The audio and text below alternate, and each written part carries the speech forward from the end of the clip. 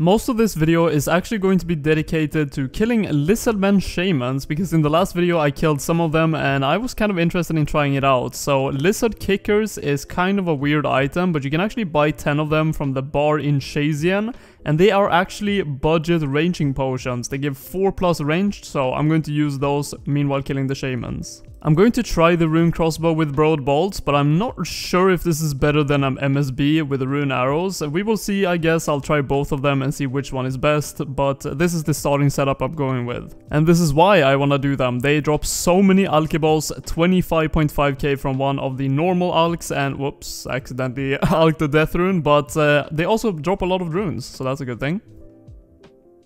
Oh, that is not the right Warhammer, but 25k alch, probably going to get baited by a lot of those. Oh, there we go, Xeric's Talisman, that is a 1 in 250 and I got it very early actually. Very good unlock for teleports on Zeah. First, hard clue scroll of the grind. I think these can drop elites as well, but I already have one in the bank and I don't really feel like doing elites, they're not really worth it, but I will try to do all the hard clues off video and I'll open the caskets at the end of the video if I manage to get any.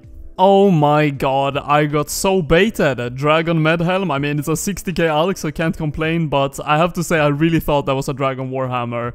It looks so similar on the ground and the same text as well. That is a 1 in 1600 drop. It's not as rare as the uh, Dragon Warhammer, but uh, as you can see on the screen right now, that is a very rare drop to get.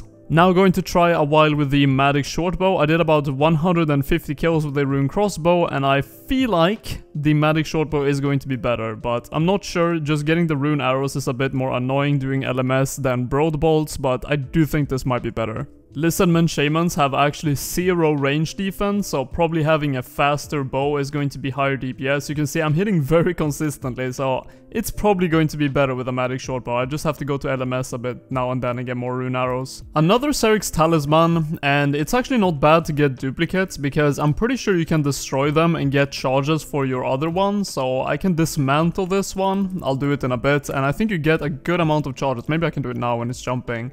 And there we go, I got like 100 teeth, so that is a lot of charges. On my last video I got a comment about when am I going to contribute to the group storage, and uh, I haven't really been able to because the grinds I've been doing haven't really been contributing a lot, but I have still been doing it off video now and then. For example, my Wintertodt crates, like I gave them all my Ranarr seeds so they can give me prayer potions and stuff like that and level Herblore. But now, Dovydas actually needs a lot of money because he's going for 70 smithing, so I'm going to give him 1 million cash. Putting that in there, and also I am giving 100 law runes to Dark World Order for the portal room, as well as 750 chaos runes and 70 for mithril ore for Max Nick, because he wants to exchange it for Tokkul for obsidian legs. So when I started doing LMS on this account to get rune arrows, the MSB imbue and all that, I was so, so rusty. I was terrible at the game. I was dying like all the time, not really getting many kills, maybe one per game, which is the first fight.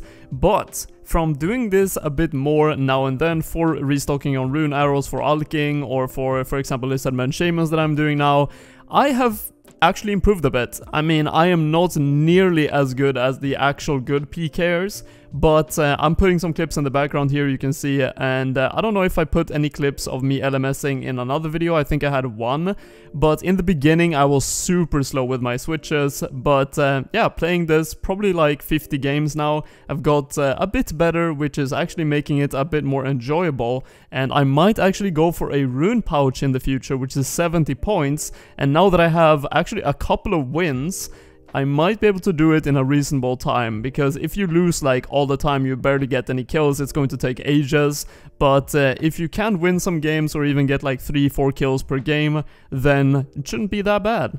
And there's another one, Xeric's Talisman number 3, which is very lucky because it's 1 in 250 and I've done like 300 kills so far, so very lucky on those. Currently on a Wintertodt detour and I am actually very close to 93. I did 92 to 93 and I have all the crates in my bank from that, so we're going to open that after this and uh, this is how I kind of want to do it. Now and then I'll do an entire level at Wintertodt and then open the crates afterwards. And this is how many crates one level basically is, so let's see if we can get lucky and get the Tome of Fire.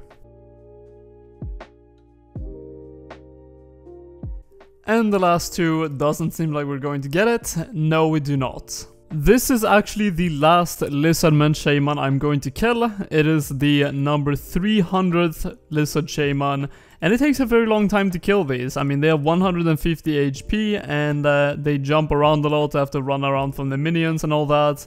But let's have a look at the loot. So this is all the loot that I got. 1.7 million, 300 kills, 3 talismans, which was very lucky. I got 2 hard clue scrolls, but actually both of them I could not do. So that was kind of unfortunate. And we got a lot of Alchables. I probably made like a million in Alchables, so that is the main reason why I wanted to do this. As well as a bunch of uh, runes as well, 433 death runes. And actually I got 2 entire range levels so I am now 73 from 71. So our team is inching a bit closer to actually doing God Wars Dungeon bosses as a team, and I have not completed the Edgar's Ruse quest, so that is what I wanna do now. That means I have to do Troll Stronghold first, but that should not be too much of a big deal. So let's complete both of those quests, and actually Edgar's Ruse give a lot of Herblore experience, and I want to get to 38, so I can actually make my own prayer potion, so that is going to help a bit with that as well. That is the Troll Stronghold completed, very random reward, a Law Talisman, not really sure why that is a reward, but uh, I'll put it in the bank, maybe it's useful for something.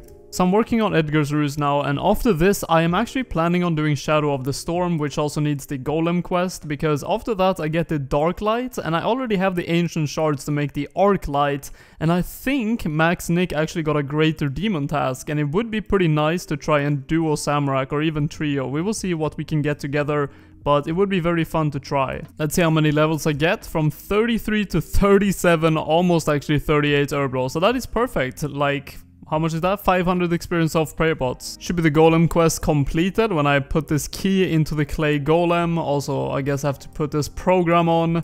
Is there going to be an instant completion? Nope, there is some dialogue. There we go, 1k crafting, 1k thieving, and uh, we should be able to do Shadow of the Storm now and 29 thieving. And that's Shadow of the Storm completed. I'm actually going to put this experience in attack 10,000 because the next goal now, because I can technically get the arclight, is to get 75 attack, because that is actually how high the requirement for the weapon is. And what I'm going to do is, I'm just going to get the Dragon Defender, meanwhile training attack, and uh, when I get the Dragon Defender, I am going to go for 62 Slayer, also training attack, because I need that to complete the easy combat diary. So I'm uh, basically completing a bunch of things at the same time. Hey, look at that, Dragon Defender, the Defender grind is over, I killed uh, probably like 500 overall Cyclops for this, so not too bad at all, and now it is time for another melee upgrade, which is the Fire Cape. There is nothing that could have been better timing than this. I was going to use the Neitiznot helmet for the Fire Cape, but it's not really a ranged helmet. And then Max Nick opened a clue scroll the same time I was going to go there, and he got me this and said I could use it. Bandos Coif, so that is going to be a massive upgrade. Also put 10 prayer pots in here for me for the fire cape. So let's see the ranged bonus. This is actually 7 ranged bonus better. So that is actually quite massive. The setup I'm going to be using is right here. I have the Shayzien boots for some ranged offense, as well as the red D'hide vambraces. They are better than the iron gloves that I had, as well as I have a switch to the rune crossbow and crystal shield with broad bolts for when the majors come, because they're a lot more tanky, so the magic shortbow is not that great there. And the diamond bolts enchanted is for when I get to Jad. So I basically have a weapon switch, and I also have bolt switches, and my food is of course course, prayer pots. Oh, I should get a new one. And uh, strawberries. Strawberries heal 5 each, and there's 5 in one of these baskets, so it's 25 healing one slot, which is definitely the best I can get currently. Well, I have to say, it is not looking great. Uh, this is my supplies I currently have. I'm on wave 46, and I have been flicking prayers quite a bit. I just have very low prayer, like 49, but uh, hopefully I will be able to make it. Guess we'll see. So last time I think I did Fire Cape was like 3 years ago on Old School RuneScape, so uh, I am not really doing it this perfectly at all. I only have 4 strawberries left, 26 HP, and 1.5 prayer potion with of course full prayer. I'm wave 57. It is possible that I do get to Jad, and if I would be an insane player, maybe I would be able to kill Jad, but I guess we'll see. Oh. Ah. That sucks. Now after that death I made two adjustments. The first one is I'm not going to be bringing an MSB with rune arrows because that is just taking up too much space and I don't think I need it and I think one more basket and one more prayer potion is going to help a lot more. I also got 52 prayer from 49 using some bones and ensouled heads so that uh, my prayer potions are going to restore a bit more prayer which is going to help a lot. Actually such a lucky last spawn. The uh, Jad boss actually spawns where the orange one spawned so I will just be able to kill it and then save spot around the uh, Italy rock right here, so won't have to fight the boss instantly when it spawns. Yes! Okay, there we go. oh my god. Almost two hours to complete that. And of course I get the lag as well. I actually got this lag a couple of times with the Runelite client uh, doing the Fire Cape, which actually drained me some HP and, uh, and prayer. But uh, there we go. Oh, so nice to have this done. I really, really do not like the Fire Cape. I'm not going to lie, I just don't enjoy it. But there it is, it's done. Look at this absolute unit. My strength bonus is now 98, but I'm still rocking the iron gloves. I haven't really got myself to uh, start working on the recipe for disaster. That will be for the future, but let's get into some Slayer, because I want to get closer to that 75 attack. Also need 62 Slayer for uh, completing the Easy Combat Diaries. You know, I'm one of those guys who just prefer to open my Brimstone chest when I go to Konar anyways after each task. Got one from that, and we get Torstol seeds. Is that good? I guess it could be in the future, but uh, Iron Dragons in the Brimhaven dungeon.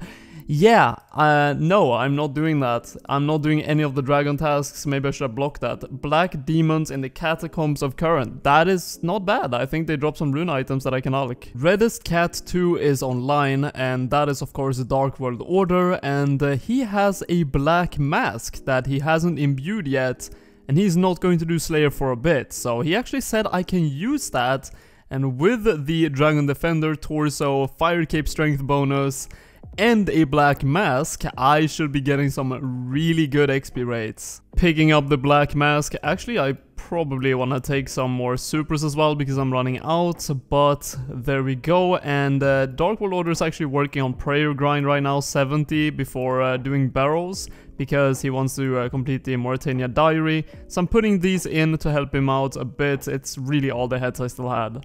Recently hit 73 attack and 56 slayer, so only 2 more attack levels until I can use the arclight, and I will try to fish for a greater demon task and Max Nick will do the same. When we both get it, or if one of us gets it, or if we just get bored and we can't get one, we'll go and do a Zamorak, and what the two items we're looking mostly for is, at that boss, is actually the Staff of the Dead for me, which is 1 in 512 or 508, not sure, because it is better than the Ahrim staff for Zulrah if I do get that Tome of Fire. So that is a nice item for me to get and uh, you do need 75 attack for it anyway, so I'm getting that now as well. So it lines up perfectly. And uh, for him, he needs the Zamorakian Spear. Not really sure why, but uh, he said he needs it, so a good reason to do uh, the boss together. But for now, I'm going to end the video here. In the next video, we are going to 100% do some Zamorak. Super stoked about that. Will be very interesting to see if we can get something. Brimstone Key. Nice. But um, before I end the video, I just want to say that I actually have a goal to uh, reach 13k subs by the end of this month. So if you guys do enjoy my content and you do want to subscribe to my YouTube, please do that. It means a lot to me. And like the video if you did enjoy it. And until next time, have a good one. Take care.